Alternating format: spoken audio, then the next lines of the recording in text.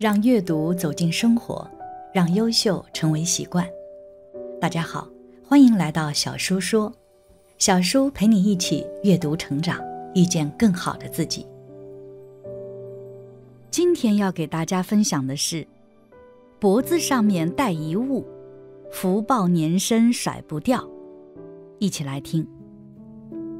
在当代，相信每个人都会随身携带一些配饰。因为这些饰品不仅可以让我们的外形变得更加闪亮，还会增加旺气。而在挑选时，就可以从风水的角度去看。如果长期佩戴，能够给自己的生活带来许多的便利。一，脖子上面戴一物。其一，佩戴观音。若是想要通过脖子上挂的配件来提升运气，那可以挑选佩戴观音像。观音本身就能够影响到人的运势，而且观音像可以辟邪，还能招财，因此佩戴观音在脖子上效果还是很不错的。其二，佩戴佛像。佛像见的较多的就是金材料和玉材料。事实上，不论是佩戴哪种材料，对我们的财运影响来讲都是一样的。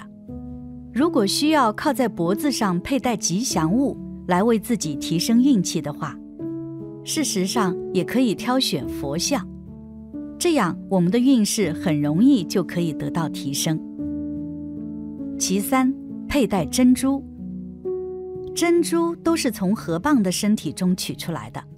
本身有着很强的灵气，佩戴珍珠对女性来讲，较大程度上可以提升运势。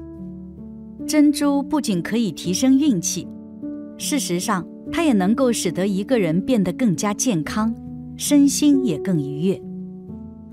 其四，碧玺。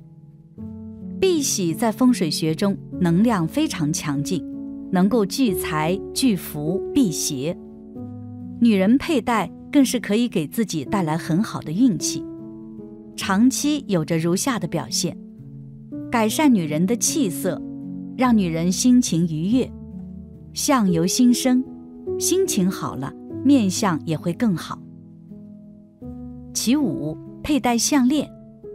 项链其实其本身的气质就是和脖子比较匹配的，因为项链的形状。造就了其可以很好的与脖子的气质相符合。因此，如果想要选择挂在脖子上以旺财的配饰，那么项链自然是必不可少的一种选择。在脖子佩戴项链，其实对个人的运气提升也是非常大的。其六，转运珠。想要招财转运，首选就是转运珠了。转运珠简单大方，而且性价比高，对于男人来说是比较实用的。转运珠通常是一种小珠子，有各种材质制成，比如玉石、水晶、金属、檀木等，可以根据个人的喜好去选择适合自己材质的转运珠。还可以用红绳将转运珠串起来，佩戴在手腕或者脖子上。有吉祥如意、招财转运的意义。其七，葫芦。佩戴葫芦能够招财转运的原因，源自于葫芦的谐音“福禄”，是一种风水吉祥物。葫芦能够起到很好的驱邪转运的作用。很多人喜欢购买比较小的葫芦作为装饰，佩戴在脖子上，既能够起到装饰作用。又能够招财转运，一举两得。其八，黑曜石可以戴在脖子上，能够恢复人的精神。但在佩戴之时，还是建议将黑曜石戴在右手上，因为佩戴珠宝需遵循左进右出的传统。黑曜石属于吸纳性宝石，需要将能量释放出来，因而建议将其佩戴在右手上。黑曜石可增强生命力，从而提高自信心。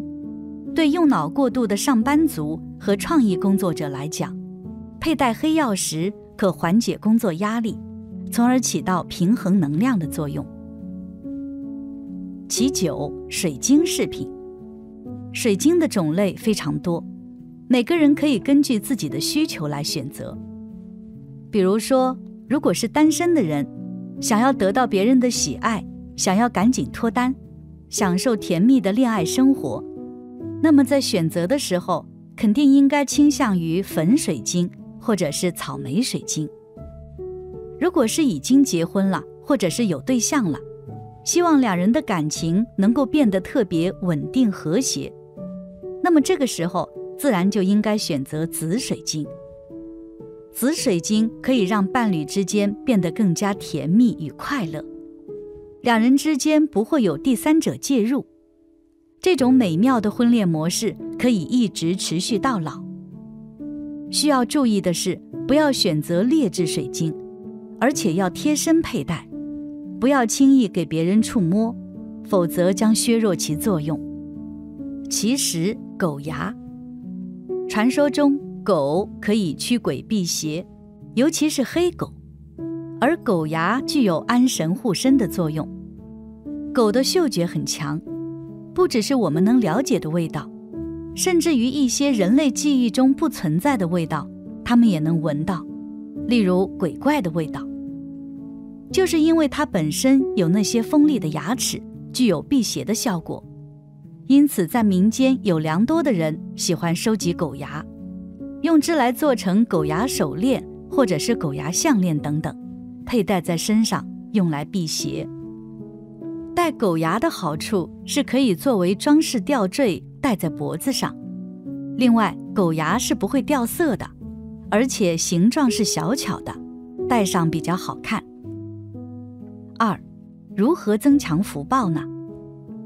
大家都想要做一个有福报的人，所以就想着要调节自己的风水。